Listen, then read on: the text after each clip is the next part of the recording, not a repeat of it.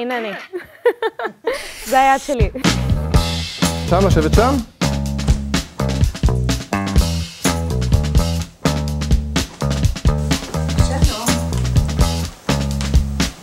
מאז שאני ילד, חלמתי להיות כוכב קולנוע. לא שחקן קולנוע, כוכב קולנוע. הייתי רוצה להיות קלינט איסטווד. מאוד מאוד חיפשתי את החשיפה, את האהבה של הקהל. אבל האדם מתכנן ואלוהים צוחק, כמו שאומרים. אז בתור פרס ניחומים עצמי כזה, אז הלכתי לסוכנות שמתמחה בליהוק אה, ביטים, שזה שחקנים קטנים, מה שנקרא, שחקנים של אה, שורה 2, 3.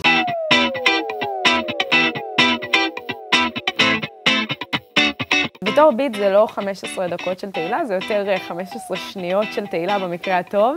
תמיד כאילו זה מסתכם במין הבעה כזאת של אה, או, או. לפעמים, כשאני מצטלמת בתור ניצבת, רואים רק את המרפק שלי, ואני זוכרת איזו חולצה לבשתי, אז אני אומרת, הנה, אין תפקיד קטן. יש רק שחקן שהוא קטן.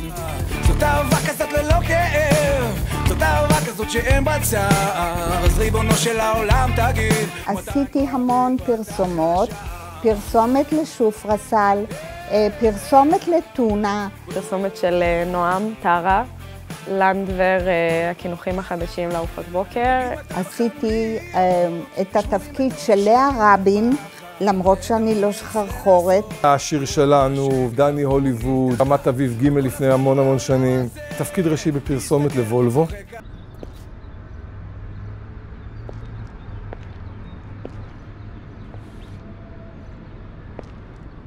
השגתי את עצמי לתעמולה 70 שנה למדינה.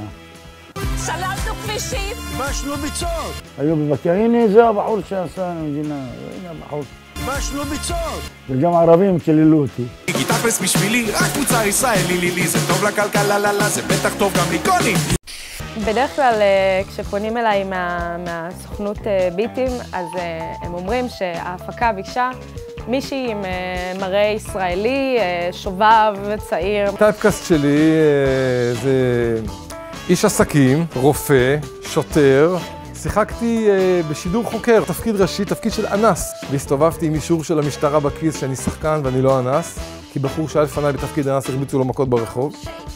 גם הייתי במשיח ברחובות לפני יומיים שלוש. משיח הסדרה? אני לא יודע, זו סדרה? מחדש עם אותם ההרגלים מבלגנת את החדר ולא מוצאת את למשל, להצטלם בעירום, אין לי בעיה, ועשיתי כבר כמה פעמים אודישן בעירום. כן, יש לי גוף יפה, ואני שומר עליו, ואני מטפח אותו הרבה שנים, ואני אוהב אותו, ואני גאה בו, ומחמיאים לי, אז למה לא? למה לא? אבל אם יגידו לי סקס, לא הייתי עושה. הבנת? זה בושה.